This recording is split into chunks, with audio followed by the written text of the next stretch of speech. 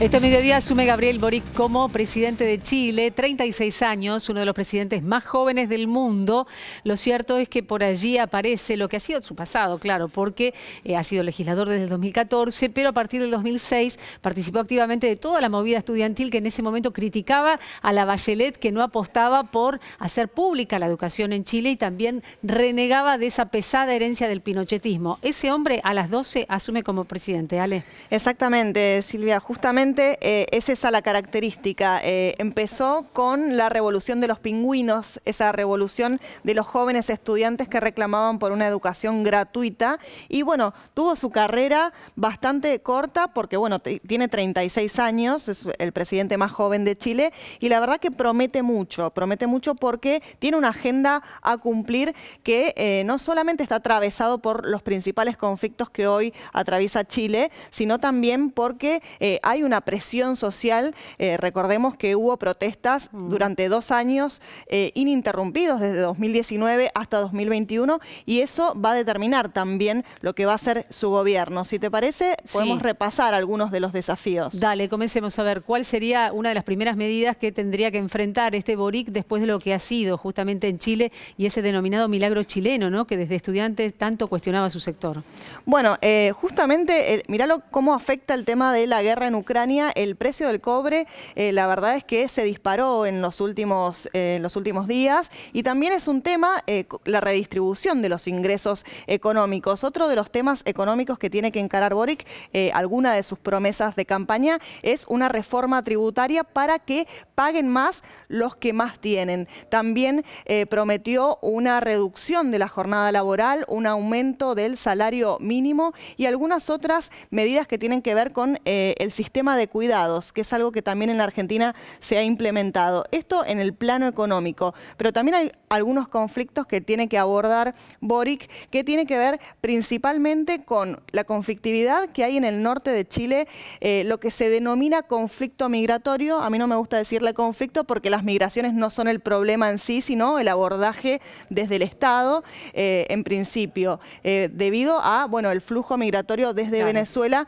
en realidad migrantes venezolanos que pasan por Perú y Bolivia e ingresan en el norte de Chile, exacto, y quedan muchos acampando en esa zona. Se han registrado algunos incidentes con violencia y bueno, tiene eh, justamente esta oportunidad, Boric, desde el Estado de implementar una política diferente a la que venía implementando Piñera y que también se aplicó en la zona del sur chileno con eh, el, tema mapuche, que también es uno de los temas iba a consultar Eso, el posicionamiento de él, eh, por ahora designado, ¿no? porque al mediodía, de eh, esta situación social que ha tenido además tanto impacto en la Argentina. Bueno, en Argentina hablamos de Jones Guala, hablamos de una situación que replica en algún sector de la Patagonia el reclamo que comenzó en algún momento también en Chile y que genera muchísimas rispideces, ¿no? sobre todo con el sector de la derecha política. Exactamente. Bueno, el gobierno de Piñera, el segundo gobierno de Piñera, que es el gobierno que se va, fue uno de los más eh, violentos.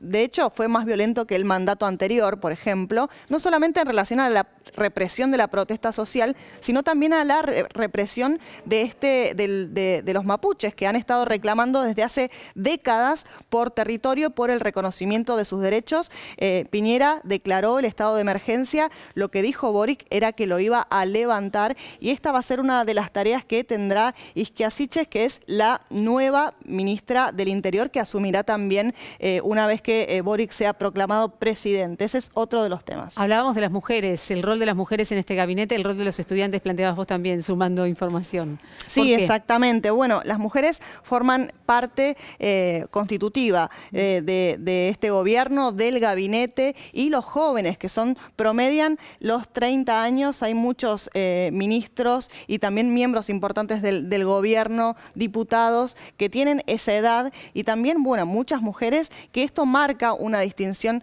con lo que fue el gobierno de Piñera, un gobierno eh, que además de aplicar políticas neoliberales, también fue eh, atravesado por todo lo que fue eh, esta protesta social que se registró desde 2019. Ale, y una demostración también de principios, ¿no? Políticos, ideológicos, porque la nieta de Salvador Allende será la nueva ministra de Defensa. Exactamente. Bueno, muy simbólico, la verdad, esta, esta medida, digamos, o esta nueva política que va a empezar a encarar la nueva ministra de Defensa, sobre todo porque el sector militar en Chile es un sector bastante complicado, sobre todo por la pervivencia del pinochetismo. Recordemos que, eh, bueno, otro de los temas que es el tema convención constituyente, que no me quiero olvidar, eh, la constitución todavía sigue vigente la que instauró Pinochet. Y esto también mantuvo cierta relación con las Fuerzas Armadas que ahora va a ser abordada justamente por la nieta de Salvador Allende. Entonces esperamos definiciones. Es lo que se vio en la campaña, ¿no? También porque el contrincante de Boric era un representante de la derecha que reivindicó al pinochetismo durante plena campaña electoral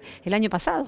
Claro, exactamente. Bueno, eh, justamente la característica de Kass, que bueno, un representante de la extrema derecha, aliado del pinochetismo, era ese programa, no era, se consideraba, imagínate, a Piñera como un moderado al lado de lo que representaba en términos de intereses. Vamos a ver qué pasa con la Constitución. Este es uno de los temas más importantes también porque está discutiéndose ya eh, el nuevo proyecto de Constitución. Eh, en septiembre está planeado que haya un plebiscito si todo marcha en los tiempos normales para que se apruebe esta Constitución y se supone que puede llegar a ser el primer, eh, la primera evaluación que va a tener el gobierno en septiembre cuando se apruebe o no se apruebe este nuevo, eh, esta nueva constitución. Bueno, muchos mandatarios de todo el país, del continente sudamericano, que han sido invitados fundamentalmente para participar de esta asunción. Por allí estará Castillo, eh, también está eh, Luis Arce, el presidente de Bolivia, también toda una declaración de principios, ¿no? Con las invitaciones que, bueno, han sido extensivas, pero se podría llegar a formar, antes de ver la nota, una especie de nuevo polo, como cerca del 2003, 2005 se generó aquí en Sudamérica. Polo político, ¿no? Sí, exactamente. Bueno, es eh, una vuelta, una segunda ola del progresismo en América Latina y la asunción de Boric justamente viene a representar un eh, presidente dentro del progresismo más eh, en, el área de América Latina. Es importante. Bueno, Alberto Fernández se va a reunir con justamente estos mm. presidentes que nombraste, con Luis Arce, con Gabriel Boric mismo también mm. y con Pedro Castillo. Y bueno, tienen por delante abordar cómo se, cómo se desarrollará el progresismo en los próximos años. Hablabas de Alberto Fernández y estamos en Chile, justamente con un equipo de la televisión pública, para cubrir todo lo que será esta asunción por parte de Gabriel Boric como presidente y también la llegada del mandatario argentino que va a participar de este acto. Salón de Honor del Congreso Nacional de Chile en Valparaíso, a poco más de 100 kilómetros de Santiago. Hasta aquí va a llegar el presidente electo, Gabriel Boric, para realizar el traspaso de mando de parte del presidente actual de Chile, de Sebastián Piñera. Se espera en este Salón de Honor 500 personas invitadas. El aforo se ha reducido siempre son 1.300 aproximadamente, debido obviamente a la pandemia. Gabriel Boric será el presidente más joven en la historia de Chile con 36 años. Decíamos que va a haber invitados, entre los invitados especiales van a estar presidentes obviamente de varios países de la región, también va a estar el presidente de la Nación, Alberto Fernández. Entre los invitados internacionales estará Estela de Carlotto, la titular de Abuelas de Plaza de Mayo.